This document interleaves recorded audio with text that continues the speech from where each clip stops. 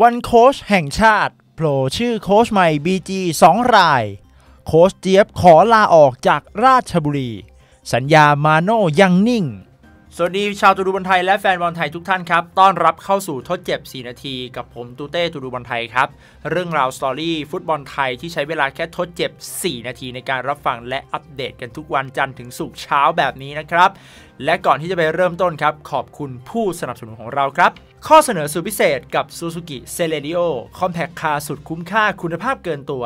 ขับสนุกคล่องตัวและประหยัดน้ำมันมากกว่า 20 กิโลเมตรต่อลิตร ให้คุณเป็นเจ้าของได้ง่ายๆ กับราคาเริ่มต้นเพียง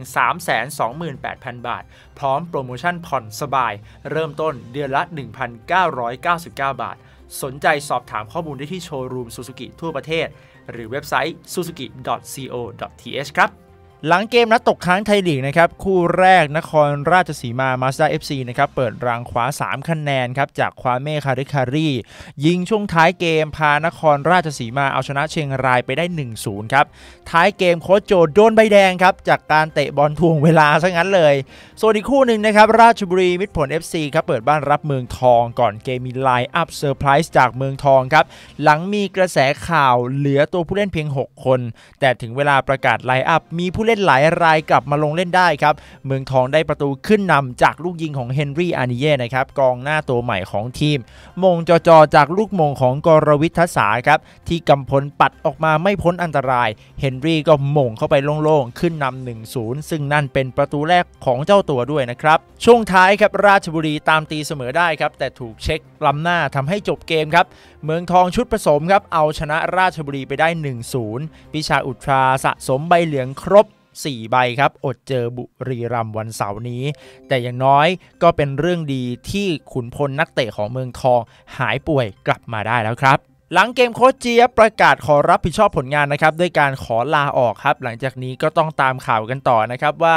ราชบุรีจะแต่งตั้งใครมาขัดตาทัพ หรือจะหาโค้ชคนใหม่มาทำในระยะยาว ส่วนมาริโอยูลอฟสกี้ครับโพสต์รูป IG พร้อมกับข้อความแสบๆ คันๆ ครับว่า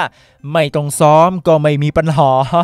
เห็นแบบนี้อยากข้ามไปวันเสาร์เลยครับ เพราะว่าการเจอบุรีรัมย์จะทำอะไรให้เป็นกระแสอีกหรือเปล่า จบเกม 2 คู่อันดับตารางคะแนนมีการเปลี่ยนแปลงเล็กน้อยนะครับเมืองทองขึ้นอันดับ4ครับแซง BG ปทุม ส่วนเชียงรายหล่นลงไปอันดับ 7 ครับ นครราชสีมายังอยู่อันดับ 9 แต่มีคะแนนเพิ่มเป็น 26 คะแนนครับ ราชบุรีอยู่อันดับ 12 ตามเดิม ก่อนหน้านี้มีกระแสว่ายูจิซึกะดะนะครับ อดีตกุนซือเซเรโซโอซาก้าอายุ 64 ปีครับ ซึ่งนั่นเป็นสโมสรพันธมิตรของ BG ด้วย และเคยคุมทีมชาติญี่ปุ่นชุด U20 ครับ ส่วนปัจจุบันหาข้อมูลไม่ได้ครับเว็บ Transfer Market ลงงานล่าสุดว่าเป็นโค้ชให้กับยามานาชิกาควินครับ University Orient ในปี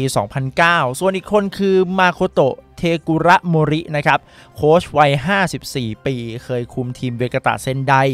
วีวาเลนนางาซากิ แล้วก็เคยทำผลงานพาทีมชาติญี่ปุ่น คว้าแชมป์ศึก U23 ชิงแชมป์เอเชีย เมื่อปี 2016 ส่วนผลงานล่าสุดพาเวกาตะเซนไดตกชั้นในปีที่ผ่านมาครับ อนาคตมาโนโพกิ้งครับกุนซือทีมชาติไทย จากตอนแรกที่มีข่าวจะได้ฉลองแชมป์ด้วยการต่อสัญญา 1-2 ปี สถานการณ์ตอนนี้กลายเป็นยังงงๆกันอยู่นะครับ สมาคมกีฬาฟุตบอลก็นิ่งไม่มีความเคลื่อนไหวอะไรนะครับ ปล่อยแฟนบอลเคว้งคว้างต่อไป เอาไงก็รีบทำนะครับพรี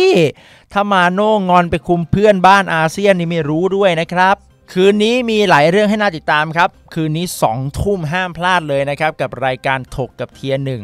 EP ที่ 2 มาถกกับโค้ชธงธงชัยสุขโกกี เห็นช่วงนี้โค้ชธงวิเคราะห์บุรีรัมย์ได้อย่างเฉียบขาดครับ มาคุยกันเรื่องของบุรีรัมย์ในยุคอิชิอิอิชิอิเปลี่ยนบุรีรัมย์ยังไงบ้าง ระบบการเล่นเป็นยังไงดีแค่ไหน